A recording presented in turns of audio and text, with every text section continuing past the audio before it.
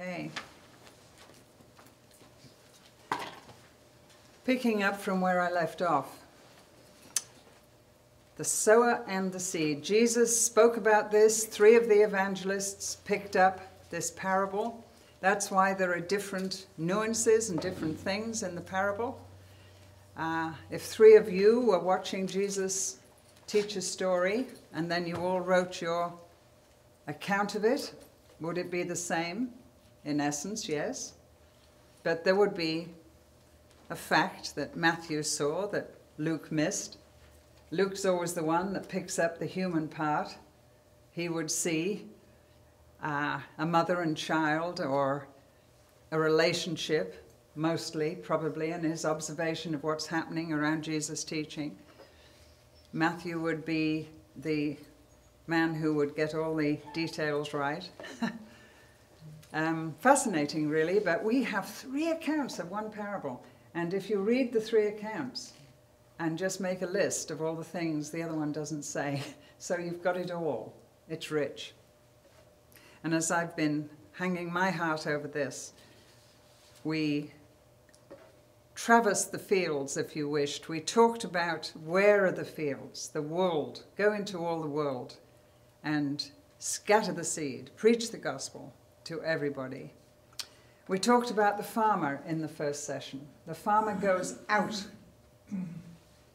Don't scatter seed necessarily in the farmhouse or the barn. It's for the fields. It's for the fields. Little bit for the family in the farmhouse, you can do that. But the farmer goes out, out, out. Right. And what does he do when he goes out? He's generous. He just throws it, throws it. And remember, I talked about some people just take one little seed in three weeks. Don't somebody's life. No, throw it, be generous. He that sows generously will reap generously. And you never know where it's going to fall. In the parable, we talked about the fields. Some, it's obvious, they've been ploughed, they've been prepared. At great cost to someone. One ploughs, another reaps. One ploughs, one waters, another reaps, says Paul in 1 Corinthians. Uh, it's just one of those things. You go out and you scatter. That's obvious you're going to get something coming up when the, when the soil's been prepared.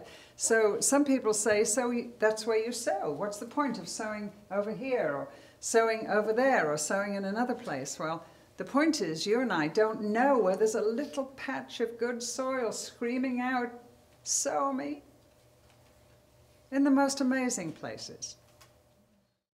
I have a friend, a doctor's wife in uh, South America. Um, Dr. Olinger and his wife, some of you might remember them in this group, were they were our doctors when we came 42 years ago. And they came into such a wonderful relationship with the Lord and took off halfway through his practice and his, his vigorous years to South um, America. And there they have done many, many things. They served a radio station there, HCJB, but he started a clinic in the slums, which was very near that mission center. And I remember years ago, Doris Olinger, always handwritten, she never learned to type, but in those days, certainly both of us hadn't learned to type. And she wrote me a card and she said, one of the hardest things is to go with Jack, that's her husband, down into this unspeakable slum. And one of the hardest things is to get by the garbage pile, which is at the door. It is absolutely huge, huge garbage pile. It smells, it's steaming, and nobody ever removes it. It's just added to and added to. And I'm so glad when I get by it. But the other day, as I walked by it, to my amazement, there was an orchid that had grown in the garbage pile. Only God can grow an orchid, she said, on a garbage pile. And so you never know. Underneath the garbage pile, there's a little patch of soil that's ready and saying, please don't, don't think you're wasting seed, please, please, please, but who would sow me? Who would come here? Etc., etc. I love that picture, and I'm in the middle of a poem about an orchid on a garbage pile to cement it in my own mind. So the farmer goes out and sows generously. Only God knows. And that's our job, just to go out. Maybe it's to plow. That's the hardest bit, just to plow. And then to pray that the next person comes. If we don't do our job, whatever it is, and some of the farming must be done by all of us. Maybe it's plowing.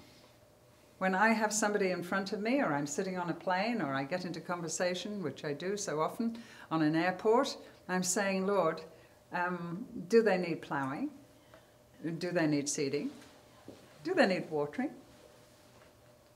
Do they need harvesting? It's so exciting. And when the Spirit nudges you, then do it. Your part, because the next person can't do theirs unless we do ours. And we talked about the farmer going out. It was natural. He was generous to a fault in all weathers. You can't miss a sowing season because it's raining or snowing, maybe, seeing we're in Wisconsin. Um, we're so fond of ourselves. I want to stay in the farmhouse and put another log on the fire, watch TV, and wait till the weather comes out, right? No, all weathers, folks, all weathers. We talked about the seed itself, that the seed is the word of God. The farmer is the son of God. The seed is the word of God. And there's life in the seed. And it must be sown, and God will grow it. Paul said in Corinthians, I planted, Apollos watered, but only God can make things grow. So, what is Paul and what is Apollos? Only servants, farmers. And that takes in everybody who knows Jesus. And so, the last piece I want to address is the foes of the farmer the farmer, the fields, and the foes. The enemies of the farmer. Why isn't there a bigger harvest? Because there has been seed sowing. Well, it could be because nobody came along and watered it and the sun scorched it, remember? Let me read it and remind you in Mark 4 as he, the farmer, was scattering the seed, some fell along the path, the birds came and ate it up. The farmer sows the word. Some people are like seed along the path where the word is sown. Soon as they hear it, Satan comes, takes away the word that was sown in them. When anyone hears the message about the kingdom and does not understand it, the evil one comes and snatches away what was sown in his heart. Another translation. Matthew 13, 18. He's a snatcher. We have a snatcher at loose in this world. And this is a picture of Satan himself. We have an enemy. There is an evil one, the enemy of our souls, the wicked one, and the whole earth lies in the wicked one. And he has his own colony of crows, of birds, snatchers. When you think about the picture Jesus uses, he uses crows. He uses uh, birds that wait and watch the farmer. We were in Switzerland last year with people who'd come out of North Africa who are translating the Bible. And they live in very primitive places in those hard desert areas. But on the edge of the desert where they came from for this conference, um, they live on farmland. It's sort of almost green, boom, and then desert. And they said that when the fields are sown, it's only a matter of hours before the sky is black, absolutely black with crows. And they're coming, and they're coming, and they're coming. And she said, It's so discouraging for the farmers. But they expect it. And all the farmers take it in turn out there to farm their fields because all the farmers come to scare away the crows. So one family sows, and you see the sky become black with their wings. How terrifying. And then it's a question, and the kids love doing it. They're the ones of running up and down the field with uh, pieces of material, frightening the crows away. And that's in a very primitive part of uh, farming community in our world. So the crow is a great example, and Jesus, of course, in 2,000 years ago, would have that picture in his mind. I have no idea. I'd like to look it up and find out. What did the farmers in Jesus' time use when the crows, who'd been watching the seed going in, swooped down? But what a picture of a snatcher. He's a snatcher. The snatcher hates the farmer's family. And the snatcher hates the farmer. He hates your children. And as soon as you sow that seed and you water it with prayer and whatever it takes to help it to grow, he's, he's around. He's watching. The snatcher. The birds are waiting. The birds are waiting. And then there's the withering. Jesus warned the sowers about the enemies Satan himself and his children would encounter. And he mentions them in these accounts of the seed and the harvest parables. So there's many harvest parables. I would suggest you go home and you look at all the harvest parables. There's wonderful sowing parables, the one with the seed uh, and the tares and, um, and the foxes. Somebody waited, an enemy of the farmer, until the harvest was about to be brought in. And then one night he got a whole lot of foxes, caught foxes, and set their tails alight. This is, this is a parable of Jesus. Sent them among the harvest. And that haunts me, what was said in the scriptures. An enemy has done this. Have you ever been in a situation where someone is really growing in the Lord and everything's fine? Or even one of your children? And suddenly there is this horrible attack. An enemy has done this. I have said that. An enemy has done this. An enemy has done this. An enemy has done this. And if it isn't, if it isn't the crows, and it isn't some enemy that burns up whatever you've put into the situation, it's the scorching of the sun, it's the withering. Jesus talked about that.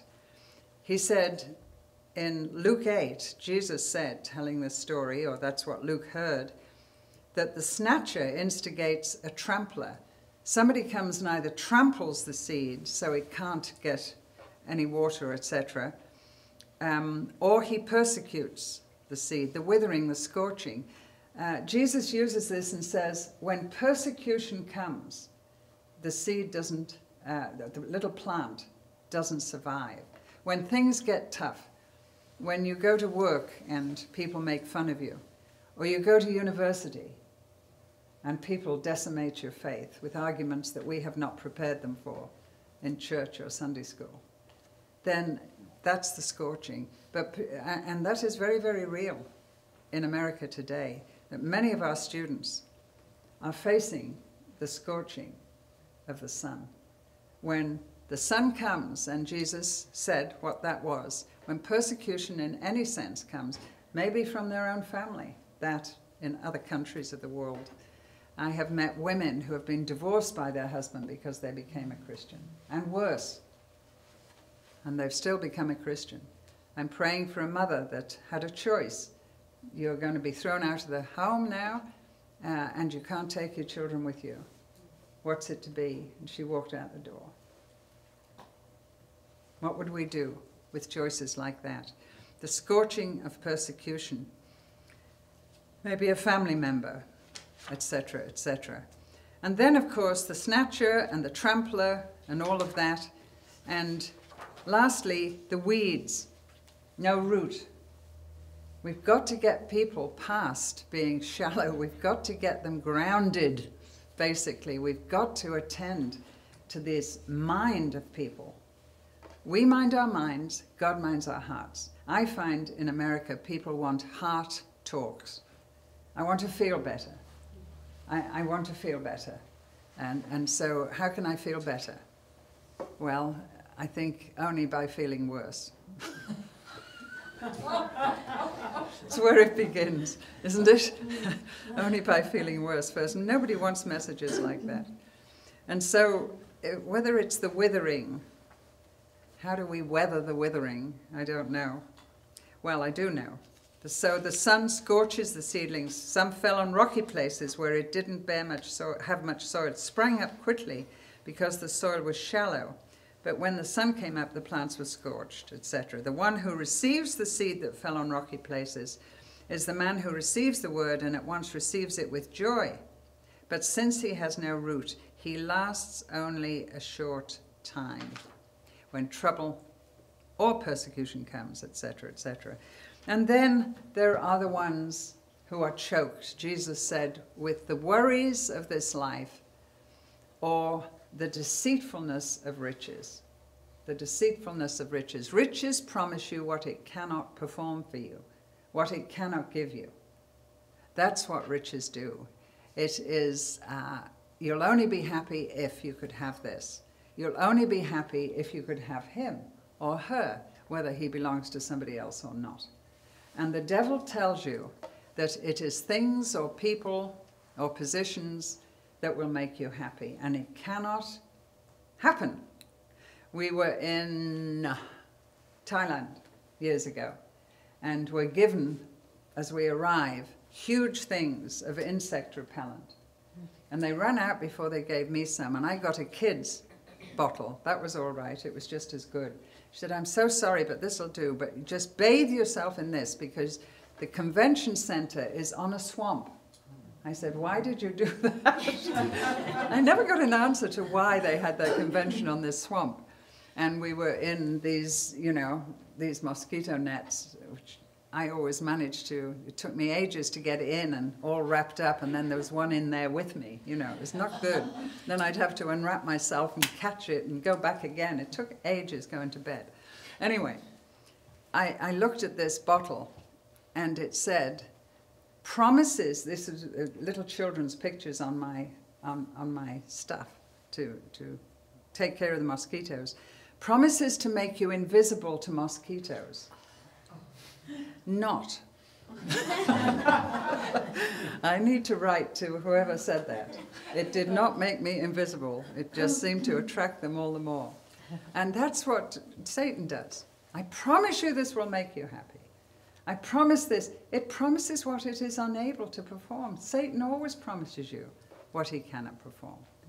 And Jesus said, Those are the people. So the devil is going to use everything. He's going to snatch, he's going to scorch, he's going to promise you things that surely that would make me happy. If only, right? And all of it. Jesus said, No, none of it. If you're going to be good seed, if you're going to be good seed, you've got to, if you're a farmer, patiently wait for the harvest. Read James 5. The farmer patiently waits for the harvest.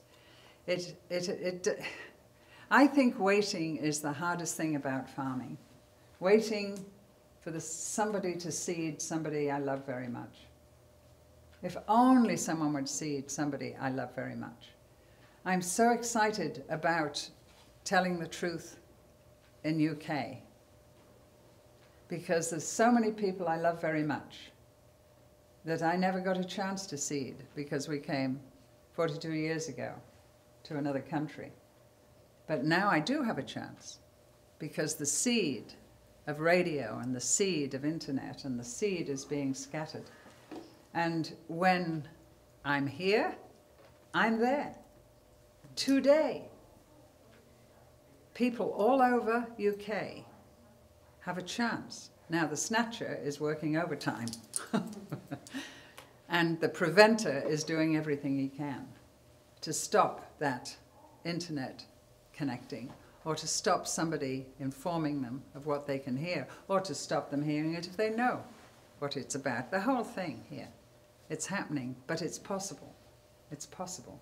What a joy got into a taxi one day when we were in UK, and the taxi driver turned on, we just come from America, turned on his radio, and it was Premier Radio. It was our program. And I can't remember, I think it was Stuart on there. And he didn't know who we were. He turned around and he said, Have you ever heard of Christian radio? I said, Well, actually, yes. That's my husband. Oh, really? That's wonderful. He told us the most amazing story that through Premier Radio, driving his taxi, he had come to faith. And he found other taxi drivers that had as well. So they start with a Bible study and prayer meeting every morning for whoever is getting in their taxi. And then whoever does from all over the world, important people, they turn on the radio and do what he was doing with me and say, have you ever heard this before, etc., etc. And the stories they told us, isn't that wonderful? You scatter the seed and you expect God to work. So I don't know where you are in the story. Where are you discouraged, perhaps? Don't be discouraged. I planted, Apollos watered, but only God can make it grow. Who is Paul? Who is Apollos? Who are we? Only servants. And the word can be farmers. Only farmers. That's all we are. But farmers we are. What a privilege. And then it's a question of waiting patiently. We've done our part, and the prayer is the thing. The praying for your children, the praying for your congregation, the praying for your Bible study group, the praying for your mother, the praying for your father.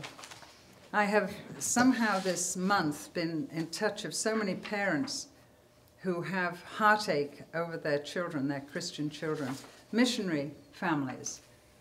Uh, it's so hard to listen to. And the, everything was fine. They were growing and growing and growing, and then the snatcher came and the scorching came, etc., etc., etc., and the weeds choked it, and what a tragedy it is for their heart. And um, yeah, children or your grandchildren. John the Apostle, hearing some very good news from his dear friend Gaius, whom he loved in the truth, speaking of his spiritual children, I haven't even touched on that. Speaking of his spiritual children, said, I have no greater joy than to hear that my children are walking in the truth. What a verse. You can't buy that. Spiritual joy, exuberant joy is ours when our children and grandchildren, natural or spiritual, walk in the truth. Love the Lord, know the Lord, obey the Lord, and joy of joys, serve the Lord. To this great end we pray. No greater joy when my children walk in truth, no greater sorrow when they don't. No greater joy when they love the Lord I love. No greater heartbreak when they won't. No greater joy when persistent prayer is answered. No greater privilege to pray. No greater work as we fight the battle for them, trusting He will answer one great day.